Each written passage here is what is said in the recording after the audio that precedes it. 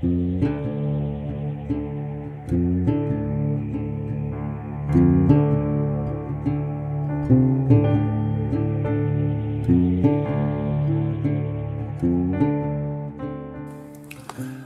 Moin! Heute mal wieder willkommen im Arbeitszimmer. Ja, es geht heute mal wieder um das leidige Thema der Betriebserlaubnis, volkstümlich genannt Papiere für Mopeds. Ich habe da schon wieder einen Fall erlebt, das ist wieder, es ist krass. Mir wurde eine Chow angeboten im guten Originalzustand, wirklich nicht zerbastelt, äh, alles noch original, hier und da, altersbedingt kleine Beschädigungen, aber äh, alles ansonsten tippitoppi. Also wirklich, wo man sich freut, in dem Zustand, wenn man sowas noch kriegt, ist schon toll. Äh, war eine SC aus 77 und ja, war eigentlich auch alles interessant und es hieß irgendwie, ist alles in Ordnung, Bedienungsanleitung ist dabei, Papiere sind dabei, ist versichert. Es ist das Original äh, Bordwerkzeugkästchen noch hinten mit bei. Äh, es ist der originale und sehr seltene äh, silbergraue Tankverschluss noch mit dran. Also wirklich schönes Teil. War ich natürlich interessiert. Ich für mich selber jetzt nicht unbedingt, weil ich habe eigentlich auch schon so viele Mopeds. Preis war eigentlich auch in Ordnung. Freund von mir hatte Interesse, so, und das Ding äh, wurde äh, am Freitag, letzten Freitag, waren wir dann hier mit ein paar Leuten und das Moped stand hier, das hat man mir vorbeigebracht. Ähm, nach dem Motto, irgendwie guckst dir mal in Ruhe an. Und wenn du jemanden hast, also das Moped, es ging darum, es soll auf jeden Fall in gute Hände abgegeben werden und weiter gepflegt werden. Es soll also nicht an irgendwelche Jungspunde, die das Ding zerbasteln und tunen, sondern dem Vorbesitzer ist es sehr wichtig, dass das Moped wirklich so wie es ist, bleibt und gepflegt wird. So, das wäre ja bei mir der Fall und ein Freund von mir, da wäre das auch der Fall. Und äh, da haben wir gesagt, er, er hatte gesagt, ich pass auf, ich bring dir das Ding vorbei und dann kannst du dir das alles in Ruhe angucken und äh, dann sagst du mir irgendwann hopp oder top. Gut, das Ding vorbeigebracht, alles schön, stand auch da. Ich hatte da ja noch mit dem Chao-Getriebe zu tun, das zu zerlegen, aber der Freund von mir guckte sich dann die Papiere an und sagte, hm, ist aber komisch mit den Papieren. So, nun zeige ich euch mal die Papiere.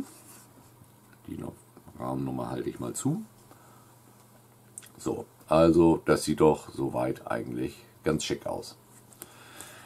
Was aufgefallen ist, der Freund von mir sagte schon, das ist aber ein komisches Papier. Oder hast du schon mal solche Papiere gesehen? Da habe ich gesagt, ja, die sind weiß mit grün. So sehen die bei meiner SC auch aus. In dem Baujahr. Bei Piaggio waren äh, Papiere ja immer unterschiedlich. Bei, manchmal waren die gelb, manchmal waren die grau-blau irgendwie. Also die haben, ich glaube, orange Papiere habe ich auch schon mal gesehen. So, und ich hatte aber gerade Dreckpfoten, konnte die nicht anfassen oder wollte die nicht anfassen. So, und dann sind wir wieder davon abgekommen. Dann habe ich mir die Papiere mal angeguckt und das ist wirklich, also was mir als erstes aufgefallen ist, das Papier, das ist so, ja, ich will nicht sagen Papier, da spricht man ja schon von Karton, etwas dickeres Papier, sag ich mal, aus dem Drucker, das ist eine Farbkopie. Das Grün glänzt so richtig, das ist aus dem Farblaserdrucker gemacht. Gut, das war schon mal der erste Ansatzpunkt. Der zweite Ansatzpunkt ist, äh, das blende ich euch auch gleich mal nach und nach ein. Ähm, das, es, steht keine, es steht nicht drauf Zweitschrift. Es ist aber auf der Rückseite nur ein Halter eingetragen und es ist kein Händlerstempel drauf. Und die erste Haltereintragung ist von 2001. Da frage ich mich, na nu, hm, wie kann das angehen? Äh, wenn das eine Zweitschrift wäre, also wie gesagt, dann wäre auch ein Stempel drauf, Zweitschrift. Der wird inzwischen ja auch schon viel nachgemacht. Kann man sich ja überall machen lassen, so ein Zweitschriftstempel.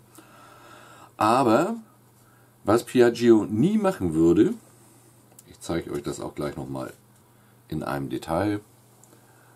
Hier unten das Datum. Bei einer Zweitschrift wäre natürlich das Datum nicht 1977, weil wenn das Ding 1977 gebaut wurde, äh, dann hätte man wahrscheinlich die Papiere ja innerhalb schon vom ersten Jahr, wo man das Ding gekauft hat, verlieren müssen, um 1977 eine Zweitschrift zu kriegen. Und äh, Piaggio, beziehungsweise war damals ja noch Vespa GmbH, hätte das Datum nie so geschrieben, sondern die schreiben immer, hier ist ja 4.9.1977 und normalerweise die schreiben immer 04.09.1977 und nicht 4.9.1977. So, dann kommen wir mal, ich habe es ja eben schon mal in die Kamera gehalten, was fällt auf? Ich blende auch gleich nochmal ein Bild ein, damit ihr einen Augenblick Zeit habt, das in Ruhe anzugucken. Und dann könnt ihr mal gucken, was fällt euch auf. Mir ist es sofort aufgefallen, als ich die Papiere dann in Ruhe angeguckt habe. Und zwar bei der Rahmennummer des Prefix. Da steht hier M7L21. Jeder, der sich mit Piaggio oder mit den Ciao oder so etwas besser auskennt, der weiß, dieses Prefix hat es nie gegeben. Ähm, das ist schon mal das Erste, wo man sagt, ja. ich meine, ich bin ja bei Ciao inzwischen so, dass ich sage, irgendwie, gibt nichts, was es nicht gibt, aber nee. So, da habe ich mir das nochmal angeguckt und dann steht hier dem durch die Betriebserlaubnis genehmigten Typ Ausführung B entspricht. Nun gucken wir uns mal an, was Ausführung B besagt. Blende ich auch nochmal ein.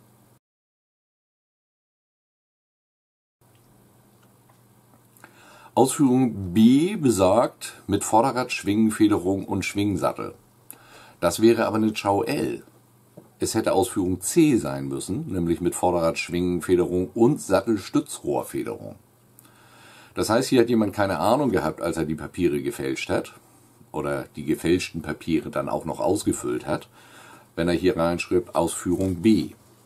So, dann kommen wir dazu, zu dem nächsten Punkt. Bereifung vorne und hinten steht hier 2-17. Das gilt auch für bestimmt manche SC. Meine SC hat zum Beispiel Bereifung 2-17. Auf dieser Chause ist aber 2 Viertel 16 Reifen drauf und auch Räder nämlich die mit der Tiefbettfelge.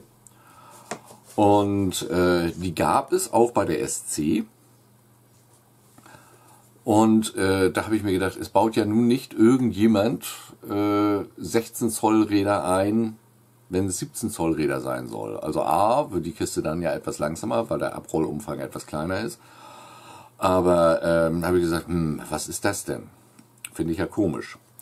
Nun habe ich hier in meinen Unterlagen ich nenne es jetzt mal Datenbank, eine Liste, wo ich nachgucken kann, das und das Modell, das und das Baujahr mit der und der Rahmennummer war für den deutschen Markt, für den italienischen Markt, für den Schweizer Markt und was weiß ich.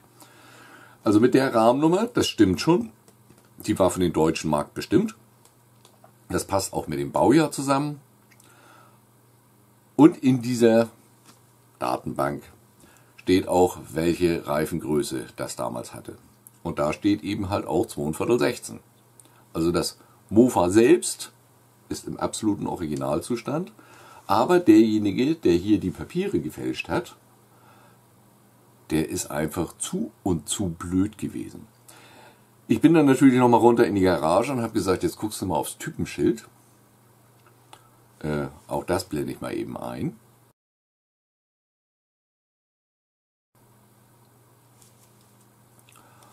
Und dann guckst du nochmal auf die eingeschlagene Nummer am Rahmen. Blende ich auch nochmal ein.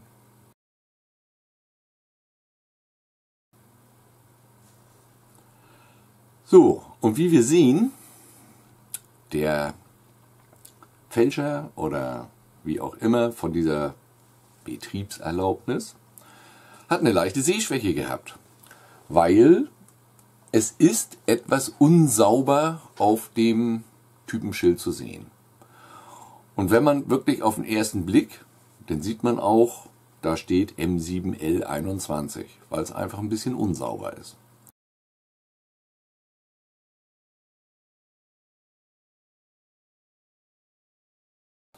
Gucken wir jetzt nochmal auf die Rahmennummer. Da ist das M recht schwach, kaum sichtbar, aber es ist da eingeschlagen. Und äh, da sieht man aber, dass das ein E ist.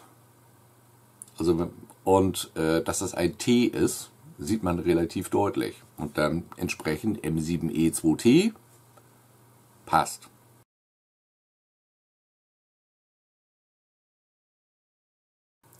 Also wieder Mofa, Typenschild okay, Rahmennummer okay, Mofa selber alles okay, aber die Papiere fake. Ja, also auch wenn man euch irgendwie, es passt auf mit den Papieren. Man kann gar nicht genug aufpassen.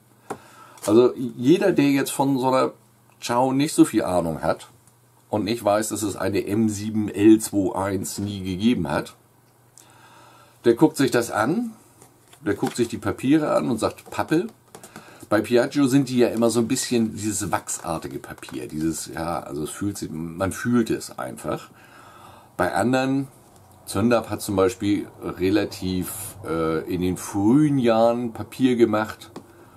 Das sah, ja, das fühlte sich bei Herkules auch, das fühlte sich nach einer Zeit an, ja, so ein bisschen samtmäßig, weil die Oberfläche relativ schnell aufgeraut ist.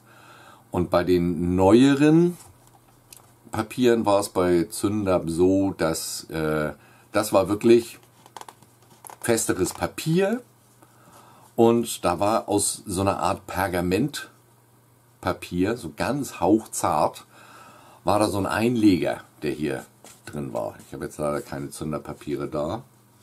Das heißt doch, ich glaube, ich habe irgendwo welche. Moment, ich guck mal hier. Das hier sind Papiere für den Bergsteiger. Äh, und die klappt man im Grunde genommen so auf. Da waren hier die Garantiebedingungen abgedruckt. Und hier ist dieser zarte Einleger. Den gab es also in, auch in verschiedenen Farben. Mal rosa, mal gelb. Und das ist ganz hauchdünnes Zeug hier. Ganz hauchdünn. Und das ist hier am Rand. Hier ist es schon ein bisschen ab. Ist das angeklebt worden dieser Einleger. Und diese Fake-Papiere werden auch gerne verkauft, ohne diesen Einleger. Das heißt, dann steht hier vorne zwar nur Betriebserlaubnis drauf, und dann kann man auch die Rahmennummer eintragen und auch den Typ. Nur, wie man sieht, sind drinnen dann nur die Garantiebedingungen. Ich habe also auch schon Fake-Papiere bei eBay gesehen, da sind die Innenseiten dann leer. Äh, also wer die Originalpapiere nicht kennt, der erkennt natürlich auch nicht so schnell eine Fälschung. Warum ich Papiere für eine Bergsteiger habe? Das war mal eine rote Bergsteiger. Und ich muss ganz ehrlich sagen, ich habe keine Ahnung mehr, was damals damit passiert ist. Das war, meine ich, ein Schlachtmoped und ich weiß gar nicht mehr, wo der Rest geblieben ist von dem Moped. Das muss jetzt, ja, ungefähr 35, 40 Jahre her sein. Ich weiß es nicht mehr. Und letztens beim Aufräumen habe ich die Papiere dazu gefunden. Inklusive der Original-Garantiekarte, erste Inspektion sogar 1974 abgestempelt. Ja, und die Schlüssel dafür sind auch noch da. Gut. Also, passt auf mit den Papieren. Fallt nicht auf irgendwas rein. Seid doppelt und dreifach vorsichtig. Äh, das ist jetzt ärgerlich, weil für den Besitzer von dieser Chow war es sehr überraschend. Äh, der wusste davon nichts, das glaube ich ihm auch. Äh, Habe ich auch gar keine Zweifel. Er hat das Ding damals so gekauft mit da gibt es sogar noch einen Kaufvertrag vom dem Vorbesitzer, der wird es allerdings auch so gekauft haben. Und da steht im Kaufvertrag auch diese komische Rahmennummer drin. Und wie gesagt, wer nur flüchtig aufs Typenschild guckt, tja.